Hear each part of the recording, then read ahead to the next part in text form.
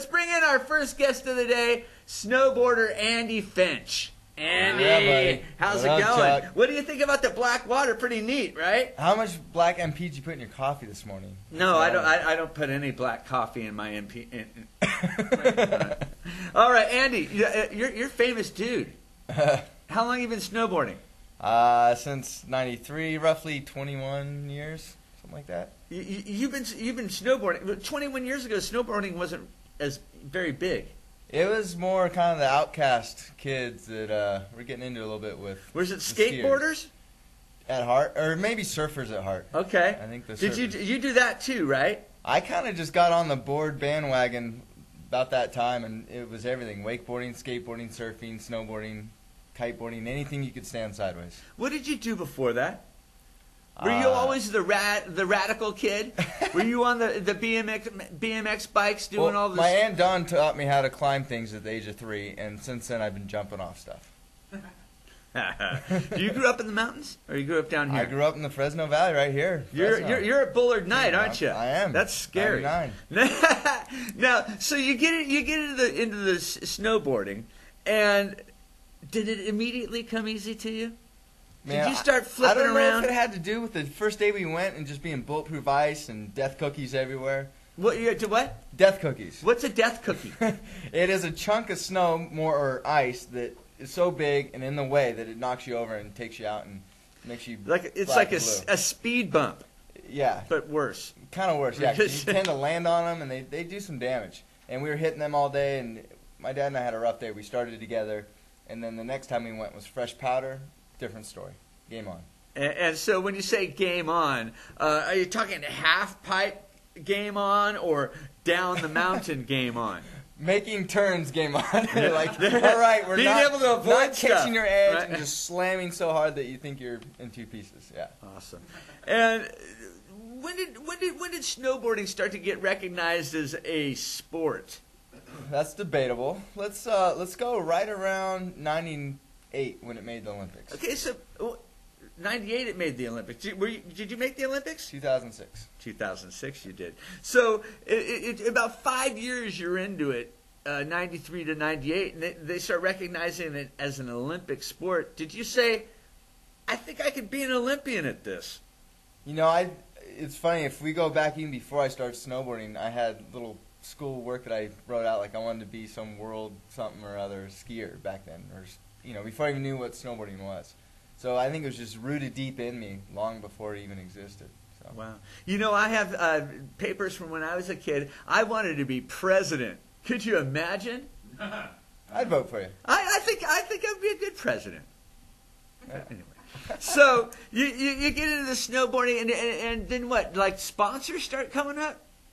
I think They that was just like serious. Well, you see all these guys in the magazines, videos that were sponsored, and, and it's like, as a kid, it's like, oh my gosh, are you sponsored? You know, they throw out the S word everywhere, and uh, it, they were the ones that made it possible, and as far as support. So, as a young kid, like I, I bugged companies for two years before I finally got a company, and you always start as a flow rider. They flow you product.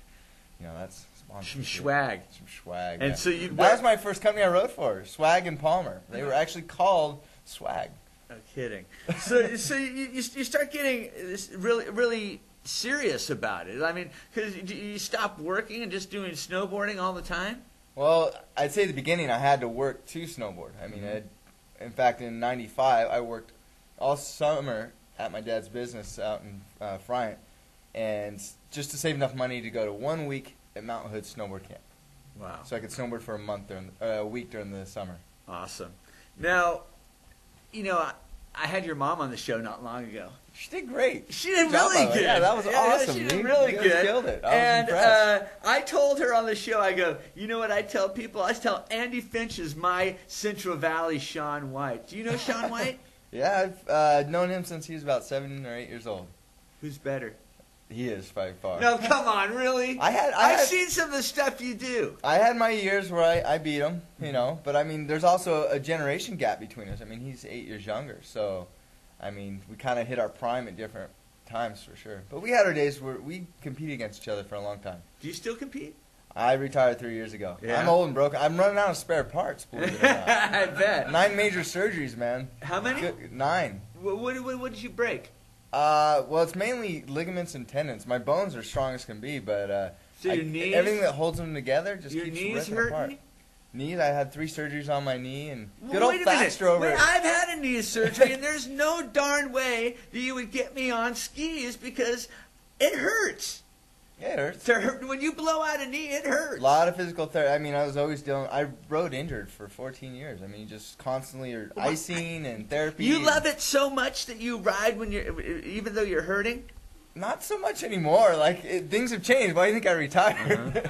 but uh, it's I don't know. I didn't care. Well, I, what does I love Andy? snowboarding that what much. does Andy Finch do when he when he retires? Just lose on Amazing Race? I, I thank you. oh, yeah. oh, It Isn't happens. what- That's exact. No, I, I did. I retired and instantly went on an amazing race and, and lost. Yeah, killer. but wait a minute, I, I, you didn't you didn't like lose. You did pretty good. Ah, it was. We had a great time. You were down to South America. we didn't go to. Oh, we went to Central America, uh, Panama. Panama. That's where we finished. Yeah. And, and so, uh, who was your partner? Tommy Czeschin, he went to the 2002 Olympics. Uh, great half pipe rider. We were on the U.S. team for a long time, and we just. I mean, it might have been our weakness, but we're exactly the same. We well, loved I'm it. like, I'm, I'm sitting here thinking, okay, two Olympians, and they lose the amazing race to some just regular mortals. But I will. I'll tell you this: God showed up on that show. There was times when we should have been eliminated and we'd win. There was other times. Where, well, is it? Is we it, were out in, in the lead when we got eliminated. We were way out in front, and then we got kind of a bump steer, and and then the taxi drivers collaborated with each other, and and you know that's out of your hands. They let the and an act of girls win. Well, girls first. Right. No, it- it's the, Except in this case, right? the, Well, the, this- the amazing race. Maybe it I. I feel like they make it look a lot easier than it is on TV. The the hardest thing with Amazing Race is you don't know where you are, you don't know what you're looking for, and you don't know where you're going. And a lot of people really struggle with the food you're eating and lack of sleep because you can't just. It's like you're on a. Are they running you schedule. constantly? Yeah, yeah, you're constantly running. The accommodations are probably pretty good. Which good. I'm used to. I mean, I used to pack two bags at, for one. You know, I'd go on a trip, come home for two hours, grab a bag, the other one, and then you know always packing a few bags at a time. In fact, I did that for this trip. Packed for Fresno, Nicaragua, and Morro Bay before I go home. Well, you- I'm- when- I'm when on the first to leg of the trip. Nicaragua. I go on uh, 6 a.m. the first. And Of- uh, year. uh, to, to snowboard? I'm surfing and we're There's building, some mountains there, We're you building know. a, a pizza oven for a village and doing some electrical work and You, bu- you're building a pizza oven for a village? yeah, Out of what? clay and ro- uh, stone. Do you do that now? Is I that did part a of little. I did build houses this summer actually. Like I love construction. I just, it's definitely physically demanding. You don't need a uh, gym membership, that's for sure. Do you uh, you, you still uh, work at the topiary? I haven't. I mean, being up in, I'm a Truckee boy now. Four Oh, hours you live in north. Truckee, I how live fun. in Truckee, yeah. Yeah. The last 11 years. But um, I lo- learned a lot of valuable skills out at the Topiary Zoo in front. Yeah, welding, cutting down weeds, trimming, Just like working, you huh? know, pulling little Edward Scissorhands. Now, when you when you live up in Truckee, there, there's there's some snow available up there. How We often do you got get a little out? bit.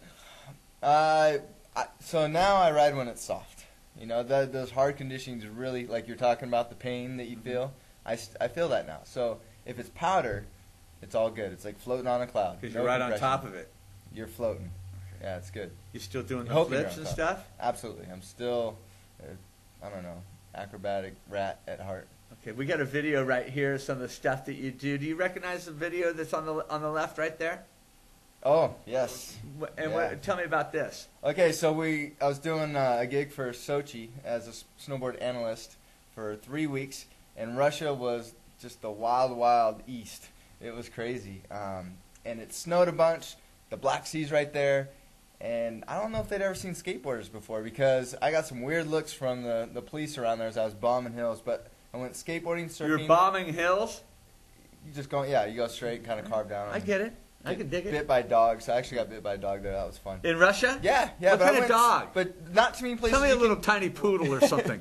It was a German Shepherd. Yeah. They like me, but it was uh, the only few places in the world you can do this. So I went skateboarding, surfing, and snowboarding in the same day, and it was good surf. and good All right, I gotta see this. Check it out. Mandy Finch, board in Sochi.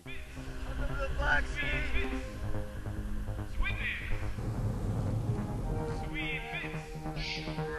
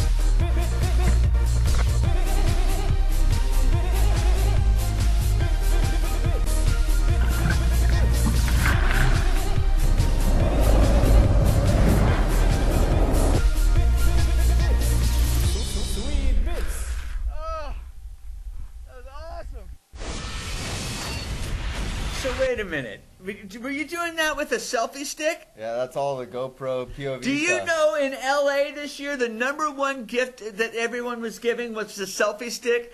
Trendsetter! I know. That's a right? trendsetter! wow. You're amazing. Does a free shirt, selfie shirt, come with that? No, no. I, I, I had a, I had a period where I didn't go anywhere without my selfie, Selfie stick. tie. Selfie tie. I like I like your style, Trendsetter Andy right Finch. there. All right. Uh, wh- now, what, what, what do you what do you do now? What, what, what, That's a good question. I kind of just things from here and there. Uh, property management. I do commentating for snowboarding. Uh, I share the gospel at outreaches. Just a barrage of things. I definitely still snowboard. Awesome. A lot of surfing. Awesome. Uh, did you teach kids how to do it, Ah, or can you? occasionally. Can you teach them? I've been teaching You gotta a long you gotta time. have it up here though, right? I've been teaching a very long time, wakeboarding, all of the sport sports. Um, but it, it tests your patience. Mm-hmm. It's a tough because you're not out riding. You're you're kind of just standing around. It takes a certain kind of person, I kind doesn't of need to just keep going and going. You, know what that's about. I I, know, I do, buddy. Andy Finch, good to see you, buddy. Awesome. Thanks for Thank you, coming by. Happy New Appreciate Year's it. to you. Hey, happy New Year. Have fun in Nicaragua. Hey, we're going to take a quick commercial break and we'll be right back. Stick around.